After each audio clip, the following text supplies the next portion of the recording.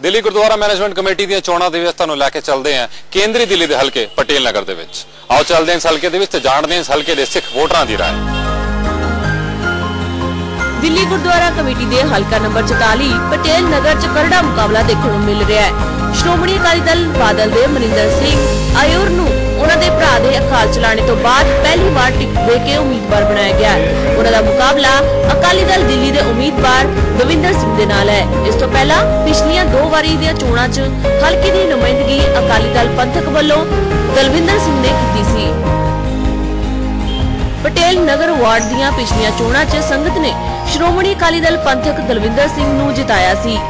ਉਹਨਾਂ ਨੂੰ 1335 ਵੋਟਾਂ ਮਿਲੀਆਂ ਸਨ, ਜਦਕਿ ਅਕਾਲੀ ਦਲ ਦਿੱਲੀ ਦੇ ਉਮੀਦਵਾਰ ਸਤਿੰਦਰ ਸਿੰਘ ਨੂੰ ਸਿਰਫ 914 ਵੋਟਾਂ ਹੀ ਹਾਸਲ ਹੋਈਆਂ ਸਨ। 2013 ਦੀਆਂ ਗੁਰਦੁਆਰਾ ਚੋਣਾਂ 'ਚ ਪਟੇਲ ਨਗਰ ਵਾਰਡ ਵਿੱਚ 4300 ਵੋਟਰ ਨੇ, ਜਦਕਿ 2006 ਵਿੱਚ ਵੋਟਰਾਂ ਦੀ ਗਿਣਤੀ 5529 ਸੀ।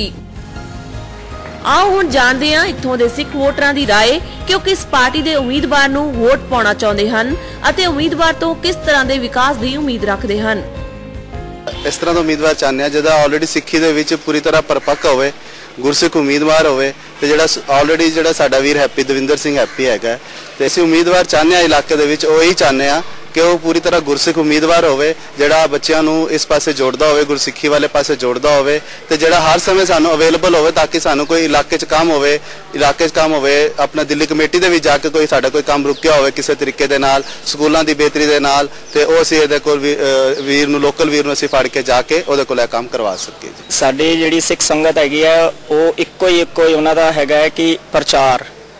ਸਿੱਖਾਂ ਸਿੱਖ ਕੌਮ ਦਾ ਪ੍ਰਚਾਰ ਹੋਵੇ ਸੋਸ਼ਲ ਸੁਸਾਇਟੀ ਦਾ ਪ੍ਰਚਾਰ ਹੋਵੇ, ਹਰ ਤਰ੍ਹਾਂ ਦੀ ਕਿਸੇ ਨਾ ਕਿਸੇ ਤਰੀਕੇ ਨਾਲ ਕਿਸੇ ਦੀ ਮਦਦ ਹੋਵੇ, ਤੇ ਇੱਕੋ ਹੀ ਸਾਡਾ ਹੈਗਾ ਸਿੱਖ ਸੰਗਤ ਦਾ ਕਿ ਜਿੰਨਾ ਗੁਰਮਤ ਦਾ ਪ੍ਰਚਾਰ ਵੱਧ ਤੋਂ ਵੱਧ ਹੋ ਸਕੇ, ਉਹ ਵੱਧ ਤੋਂ ਵੱਧ ਜਿਹੜਾ ਵੀ ਕੈਂਡੀਡੇਟ ਜਿੱਤ ਕੇ ਆਏਗਾ, ਉਹ ਵੱਧ ਤੋਂ ਵੱਧ ਇਹ ਪ੍ਰਚਾਰ ਕਰੇ। ਗੁਰਦੁਆਰਿਆਂ ਦੀ ਉਸਾਰੀ ਨੂੰ ਕੋਈ ਵੀ ਘੱਟ ਨਹੀਂ ਹੈ, ਗੁਰਦੁਆਰਿਆਂ ਦੀ ਉਸਾਰੀ ਬਹੁਤ ਸੋਹਣੀ ਹੋਈ ਹੈ।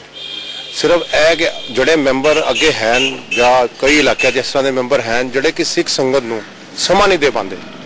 ਅੱਜ ਸਾਨੂੰ ਜ਼ਰੂਰਤ ਹੈ ਐਸੇ ਮੈਂਬਰ ਦੀ ਜਿਹੜਾ ਕਿ ਸਿੱਖ ਸੰਗਤ ਦੇ ਅੰਦਰ ਵਿਚਰ ਸਕੇ।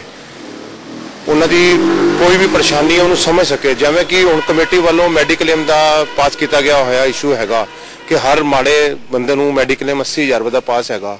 ਤੇ ਅੱਜ ਅਸੀਂ ਜਦੋਂ ਸਿੱਖ ਸੰਗਤਾਂ ਦੇ ਅੰਦਰ ਵਿਚਰ ਰਹੇ ਹਾਂ, ਤੇ ਆਮ ਸੰਗਤ ਨੂੰ ਇਸ ਬਾਰੇ ਨੌਲੇਜ ਹੀ ਨਹੀਂ ਹੈਗੀ। ਉਹਨੂੰ ਪਤਾ ਹੀ ਨਹੀਂ ਹੈਗਾ ਕਿ ਸਾਡੇ ਵਾਸਤੇ ਇੰਨੀ ਵੱਡੀ ਇੱਕ ਫੈਸਿਲਿਟੀ ਗੁਰਦੁਆਰਾ ਕਮੇਟੀ ਵੱਲੋਂ ਅਵੇਲੇਬਲ ਹੈਗੀ।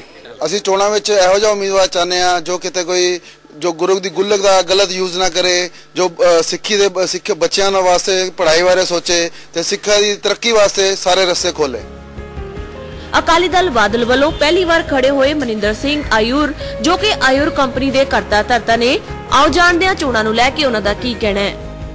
ਇੱਕ ਸੰਗਤ ਜਿਹੜੀ ਹੈਗੀ ਹੈ ਮਿਕਸ ਤਰ੍ਹਾਂ ਦੀ ਹੈਗੀ ਹੈ।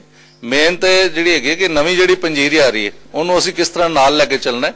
ਔਰ ਜਿਹੜੀ ਨਵੀਂ ਟੈਕਨੋਲੋਜੀ ਆ ਰਹੀ ਹੈ ਉਹਦੇ ਹਿਸਾਬ ਨਾਲ ਸਾਡੀ ਇਹ ਕੋਸ਼ਿਸ਼ ਹੈਗੀ ਕਿ ਆਉਣ ਵਾਲੀ ਜਿਹੜੀ ਸਾਡੀ ਪੰਜੀਰੀ ਹੈ ਉਹ ਸਿੱਧਾ ਆਈਐਸ ਅਫੀਸਰ ਦੀ ਜਾਏ। ਸਾਡੇ ਇੱਥੇ ਹਲਕੇ ਐਫਏ ਵੀ ਹੈਗੇ ਨੇ ਜਿੱਥੇ ਜ਼ਰੂਰਤਮੰਦ ਹੈਗੇ ਨੇ ਨੌਜਵਾਨ ਉਹਨਾਂ ਨੂੰ ਲੈ ਕੇ ਅਸੀਂ ਅਹ, ਜਿਨ੍ਹਾਂ ਦੀ ਕਾਬਲੀਅਤ ਦੇ ਹਿਸਾਬ ਨਾਲ ਉਹਨਾਂ ਨੂੰ ਅੱਗੇ ਲਿਆਈਏ ਤਾਂ ਕਿ ਉਹਨਾਂ ਨੂੰ ਨੌਕਰੀਆਂ ਲੱਭਣ ਦੀ ਲੋੜ ਨਾ ਪਏ। ਲੋਕ ਉਹਨਾਂ ਨੂੰ ਬੁਲਾਣ। ਉਹਨਾਂ ਦੀ ਸਟੱਡੀ ਦੇ ਡਿਊਰੇਸ਼ਨ ਵਿੱਚ ਹੀ ਉਹਨਾਂ ਨੂੰ ਕਹਿਣ ਜੀ ਆਓ ਜੀ ਤੁਸੀਂ ਸਾਡੇ ਕੋਲ ਨੌਕਰੀ ਕਰੋ। ਹਾਂਜੀ ਹਾਂਜੀ। ਸਾਡੇ ਸ਼੍ਰੋਮਣੀ ਅਕਾਲੀ ਬਾਦਲ ਦਲ ਦੇ ਪ੍ਰਧਾਨ ਸਾਹਿਬ ਸੁਖਬੀਰ ਸਿੰਘ ਬਾਦਲ ਜੀ, ਉਹਨਾਂ ਦਾ ਵਿਜ਼ਨ ਔਰ ਜਿਹੜਾ ਹੈਗਾ ਇੰਟਰਨੈਸ਼ਨਲ ਹੈਗਾ। ਉਹ ਆਪਣਾ ਇੱਕ ਸਿੱਖੀ ਨੂੰ ਪੂਰੇ ਇੰਟਰਨੈਸ਼ਨਲੀ ਦੱਸਣਾ ਚਾਹੁੰਦੇ ਨੇ ਕਿ ਅਸੀਂ ਵੀ ਆਪਣੀ ਹੋਂਦ ਰੱਖਣੇ ਆ।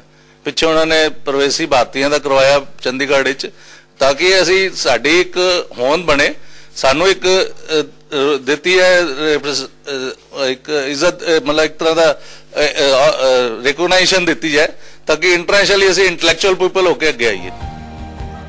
ਉਧਰ ਸ਼੍ਰੋਮਣੀ ਅਕਾਲੀ ਦਲ ਬਾਦਲ ਦੇ ਨੌਜਵਾਨ ਮਨਵਿੰਦਰ ਸਿੰਘ ਦੀ ਥਾਂ ਸ਼੍ਰੋਮਣੀ ਅਕਾਲੀ ਦਲ ਦਿੱਲੀ ਨੇ ਨੌਜਵਾਨ ਦਵਿੰਦਰ ਸਿੰਘ ਨੂੰ ਮੈਦਾਨ 'ਚ ਉਤਾਰਿਆ ਹੈ। ਆਓ ਜਾਣਦੇ ਹਾਂ ਦਵਿੰਦਰ ਸਿੰਘ ਦਾ ਵਿਕਾਸ ਕਾਰਜਾਂ ਲਈ ਕੀ ਏਜੰਡਾ ਹੈ। ਪੂਰੀ ਪਟੇਲ ਨਗਰ ਦੀ ਸੰਗਤ ਦਾ ਇਕੱਠ ਚਾਹੁੰਦੇ ਹੈਗੇ ਆ ਜੀ ਵੀ ਜਿੰਨੇ ਵੀ ਗੁਰਦੁਆਰੇ ਨੇ ਸਾਡੇ ਗੁਰਦੁਆਰੇ ਦੇ ਪਟੇਲ ਨਗਰ ਦੇ ਕਰੀਬ ਟੋਟਲ 10 ਦੇ ਕਰੀਬ ਸਿੰਘ ਸਭਾਵਾਂ ਹੈਗੀਆਂ ਨੇ। ਪੰਜ ਸਾਡੇ ਇਸ ਪਾਸੇ ਵੈਸਟ ਪਟੇਲ ਨਗਰ ਔਰ ਪਟੇਲ ਨਗਰ ਤੇ ਸਾਊਥ ਪਟੇਲ ਨਗਰ ਤੇ ਰਣਜੀਤ ਨਗਰ ਤੇ ਸਤਿਅਮ ਸਿਨੇਮਾ ਦੇ ਕੋਲ ਦੇ ਸਿੰਘ ਸਭਾਵਾਂ ਨੇ। ਸਾਡਾ ਇੱਕ ਮੋਟਿਵ ਇਹ ਵੀ ਹੈ ਕਿ ਅਸੀਂ ਸਾਰੀਆਂ ਸਿੰਘ ਸਭਾਵਾਂ ਦਾ ਆਪਸ ਵਿੱਚ ਇੱਕ ਚੇਨ ਬਣ ਜਾਏ ਵੀ ਤਾਂ ਜੋ ਜੋ ਵੀ ਅਸੀਂ ਪ੍ਰੋਗਰਾਮ ਕਰਨੇ ਨੇ, ਜਿਸ ਤਰ੍ਹਾਂ ਕਿ ਦਿੱਲੀ ਸਿੱਖ ਗੁਰਦੁਆਰਾ ਪ੍ਰਬੰਧਕ ਕਮੇਟੀ ਹੈ, ਆਉਣ ਵਾਲੇ ਟਾਈਮ ਦੇ ਵਿੱਚ ਪਟੇਲ ਨਗਰ ਸਿੱਖ ਗੁਰਦੁਆਰਾ ਪ੍ਰਬੰਧਕ ਕਮੇਟੀ ਵੀ ਬਣ ਜਾਏ, ਤਾਂ ਜੋ ਸਾਰੇ ਗੁਰਦੁਆਰੇ ਇੱਕ ਦੂਜੇ ਨਾਲ ਕਨੈਕਟ ਹੋ ਜਾਣ। ਸਾਡੀ ਉਹ ਕਨੈਕਟੀਵਿਟੀ ਦਾ ਪੂਰਾ ਰੋਲ ਅਸੀਂ ਸਾਰੇ ਵੀਰਾਂ ਨੇ ਨਿਭਾਉਣਾ ਹੈਗਾ ਵੇ। ਤੇ ਸੰਗਤ ਨੂੰ ਲੈ ਕੇ ਅਸੀਂ ਤੁਹਾਨੂੰ ਦੱਸ ਹੀ ਦਿੱਤਾ ਕਿ ਅਸੀਂ ਬੱਚਿਆਂ ਨੂੰ ਮੇਨ ਐਜੂਕੇਸ਼ਨ ਵੱਲ ਤੇ ਗੁਰਸਿੱਖੀ ਦੇ ਵਿੱਚ ਕਿਵੇਂ ਵਾਧਾ ਕਰਨਾ ਉਸ ਚੀਜ਼ ਨੂੰ ਲੈ ਕੇ ਚੱਲਣਾ ਹੈ। ਪਟੇਲ ਨਗਰ ਵਾਰਡ ਦੀ ਚੋਣ ਕਾਫੀ ਦਿਲਚਸਪ ਹੋਵੇਗੀ ਕਿਉਂਕਿ ਸ਼੍ਰੋਮਣੀ ਅਕਾਲੀ ਦਲ ਬਾਦਲ ਵੱਲੋਂ ਪਹਿਲੀ ਵਾਰ ਨਵੇਂ ਉਮੀਦਵਾਰ ਨੂੰ ਉਤਾਰਿਆ ਗਿਆ ਹੈ ਅਤੇ ਦੂਜੇ ਪਾਸੇ ਸ਼੍ਰੋਮਣੀ ਅਕਾਲੀ ਦਲ ਦਿੱਲੀ ਵੱਲੋਂ ਨੌਜਵਾਨ ਦਵਿੰਦਰ ਸਿੰਘ ਨੂੰ। ਤੁਸੀਂ ਵੇਖਿਆ ਪਟੇਲ ਨਗਰ ਹਲਕੇ ਦਾ ਹਾਲ। ਇੱਕ ਨਵਾਂ ਹਲਕਾ ਲੈ ਕੇ ਛੇਤੀ ਹਾਜ਼ਰ ਹੋਵਾਂਗੇ ਤਦ ਤੱਕ ਲਈ ਇਜਾਜ਼ਤ ਦਿਓ। ਕੈਮਰਾ ਪਰਸਨ ਫਿਰੋਜ਼ ਖਾਨ ਦੇ ਨਾਲ Gaurav Walia day night news.